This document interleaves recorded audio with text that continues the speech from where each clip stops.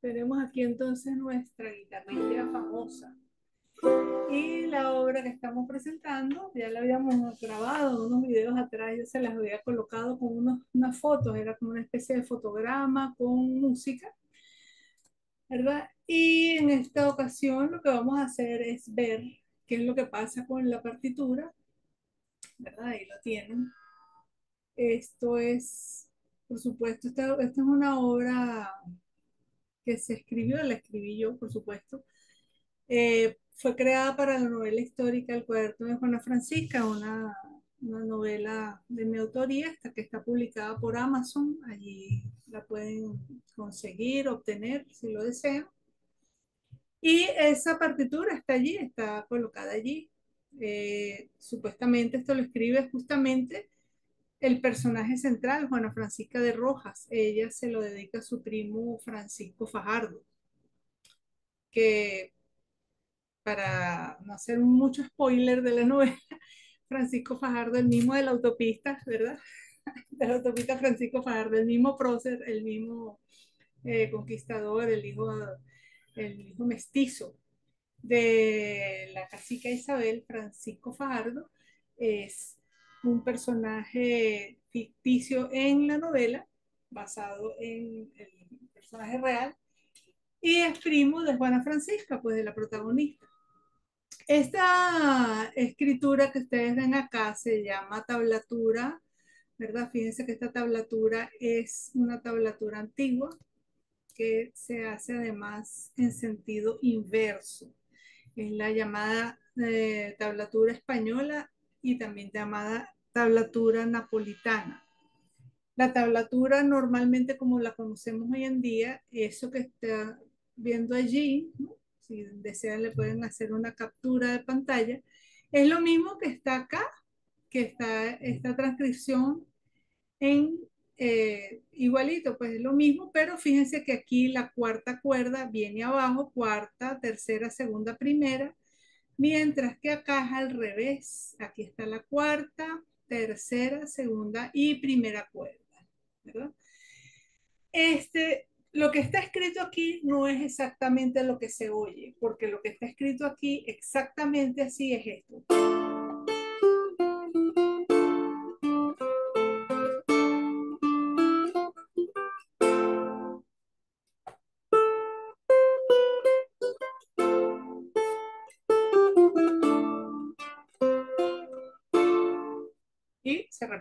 Estos son supuestamente los puntos de repetición. Supuestamente no, son los puntos de repetición.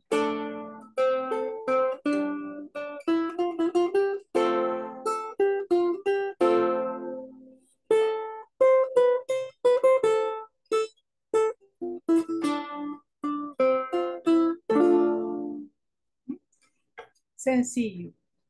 ¿Qué es lo que pasa? Que en la escritura de la música del Renacimiento, esto no funcionaba como una partitura como se, le conoce ya en el siglo finales del 18 y ya el 19, sino que esto es un guion, es una guía, una guía para que el intérprete, ¿verdad?, tocara eso y repitiera y repitiera y repitiera, hiciera variaciones, etcétera. Todo eso se le dejaba a criterio del intérprete, ¿verdad? Entonces, al llevarlo acá, a esta transcripción, digamos, moderna. Aquí esto se puede tocar perfectamente con la guitarra eh, actual, pues la guitarra moderna. yo lo, distingo de la guitarra renacentista de la guitarra moderna. Fíjense que aquí ahora la tesitura baja.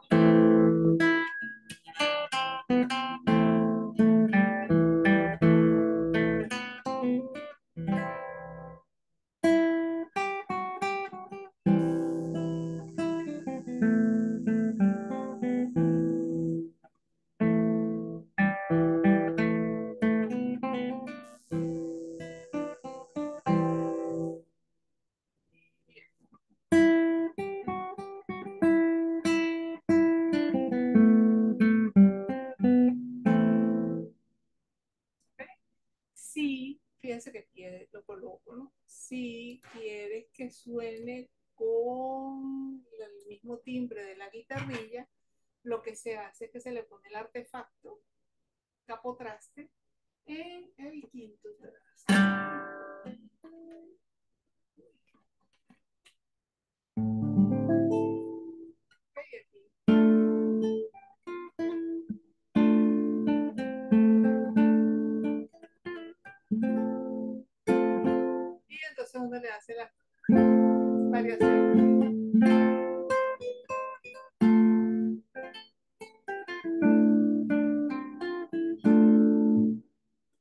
Se vuelve a repetir. debería venir los puntitos de repetición aquí, ¿no? En la otra parte.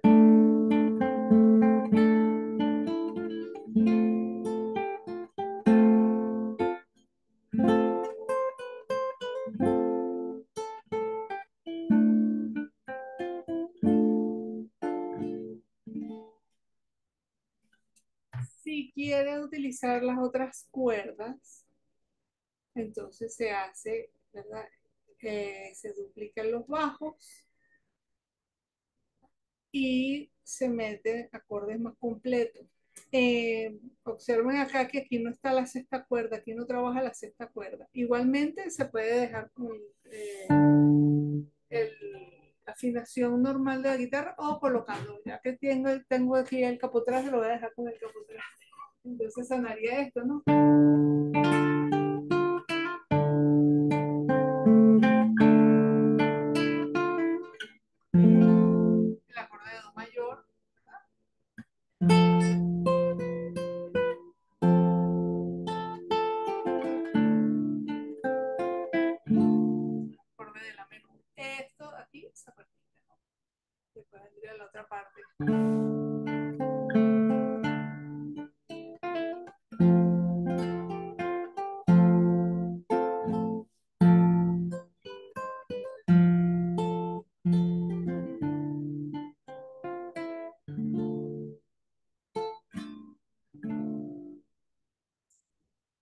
Y así de esa manera pues se puede tener eh, una obra renacentista eh, y se toca perfectamente con la guitarra moderna. Todas las obras del Renacimiento, si se quieren, si se quiere que se suene, que suene pues con el timbre del siglo XVI, lo que se hace es que se le coloca el capotraste en la, el, el quinto traste y ya pues.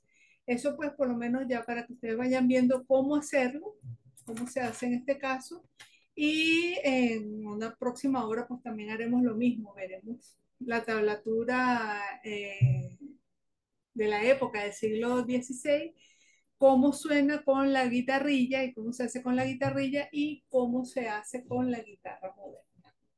Espero que les haya gustado y nos vemos en una próxima oportunidad. Chao.